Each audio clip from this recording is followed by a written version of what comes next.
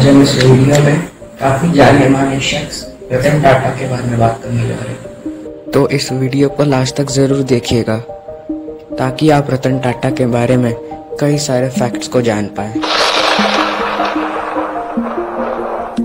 रतन टाटा काफ़ी सारे बिजनेसमैन और इंडस्ट्रियलिस्ट के लिए एक आइडल है। रतन टाटा की मार्केटिंग टेक्निक सारे बिजनेसमैन और इंडस्ट्रियलिस्ट को काफ़ी पसंद आती है। रतन टाटा टाटा ग्रुप के फाउंडर जमशेद जी टाटा के ग्रैंड सन उन्होंने शुरुआत में अपनी शिक्षा फॉरेनर यूनिवर्सिटी न्यूयॉर्क से की। वैसे तो वो एक आर्किटेक्ट बनना चाहते थे, लेकिन लेकिन क्योंकि उनकी फैमिली बिज़नेस फ़ील्ड से बिलोंग करती थी, उन्होंने इसी बिज़नेस में काम करके इसे आगे बढ़ाने की सोची। उन्हें आईबीएम कंपनी जो कि काफ़ी बड़ी कंपनी है, वहाँ से ऑफ़र भी मिला था जॉब के लिए, लेकिन उन्होंने ये ऑफ़र ठुकरा दिया था। 1961 में उन्हें टाटा कंपनी में, टाटा स्टील के सेक्टर में काम लिया ऐसे धीरे धीरे मेहनत करने के बाद उन्हें 30 साल बाद, यानी 1991 में टाटा कंपनी का चेयरमैन बना दिया गया। उनके अंडर में टाटा कंपनी ने काफ़ी अच्छी ग्रोथ की और इस कंपनी को इंटरनेशनल लेवल तक पहुँचा। उनके अंडर में टाटा कंपनी का प्रॉफिट पचास गुना तक बढ़ गया था। वह चाहते थे कि इंडिया के हर एक फैमिली के पास एक गाड़ी। जिसकी वजह से उन्होंने नैनो कार बनाई, जो कि काफ़ी सस्ती थी। लेकिन कुछ थोड़ी बहुत कमियों की वजह से यह गाड़ी नहीं चल पाई और जब तक इसे पूरी तरह अच्छे से बनाया गया, इसकी कॉस्ट दो गुना हो गई। थी जिसके कारण ये गाड़ी उतना अच्छा परफॉर्म नहीं कर पाई। इसके बाद टाटा मोटर्स को काफ़ी नुकसान हुआ। जिसकी वजह से रतन टाटा ने डिसाइड किया कि टाटा मोटर्स को अब वो बेच देंगे। उन्होंने इसका जो प्रस्ताव रखा तो बिल फोर्ड फोर्ड कंपनी के मालिक हैं, उन्होंने ये प्रस्ताव स्वीकार किया, दोनों के बीच मीटिंग में।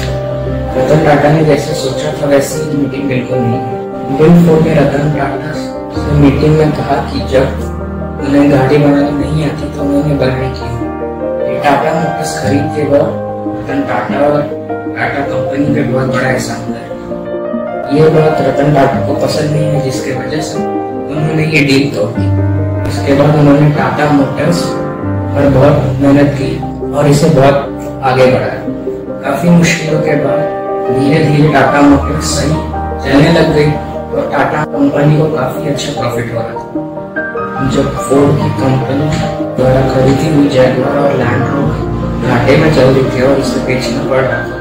रतन टाटा ने सामने से ये दोनों गाड़ी खरीदने का प्रस्ताव रखा दोनों के बीच एक बार फिर मीटिंग हुई और इस बार रतन टाटा ने लैंड रोवर और जैगवार को 2.3 बिलियन डॉलर में खरीद लिया इसके बाद उन्होंने कई सारी और कंपनी को खरीदा जैसे 2000 में उन्होंने टेटली कंपनी जो कि कनाडा की है उसे खरीदा 2004 में डीयू जो कि साउथ कोरिया की है उसे खरीदा 2007 में कोरस, जो कि लंदन बेस्ड कंपनी उसे भी खरीदी इस सब के बाद रतन टाटा 2012 में पचहत्तर साल की उम्र में रिटायर हो गए।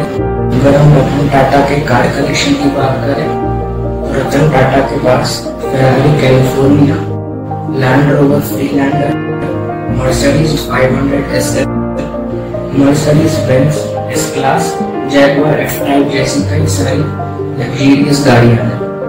रतन टाटा एक स्किल्ड पायलट भी है। और पहले इससे भारतीय थे जिन्होंने एफ़ सिक्सटीन फैल्कन को उड़ाया था। रतन टाटा को डॉग से काफ़ी लगा है। बारिश के सीज़न में वो स्ट्रे डॉग्स को रूम्स बना के रहने की जगह देते इस रूम में डॉग्स के लिए हर तरह की सुविधाएँ उपलब्ध है। वैसे तो रतन टाटा की नेटवर्क काफ़ी ज़्यादा हो सकती थी लेकिन क्योंकि ये इनकम का 66 परसेंट डोनेट करते थे रतन टाटा की इनकम सिर्फ़ वन बिलियन डॉलर्स अगर हम रतन टाटा के अवार्ड्स की बात करें तो रतन टाटा को पद्म विभूषण और पद्म भूषण से नवाजा गया। तो बस आज की वीडियो के लिए इतना ही।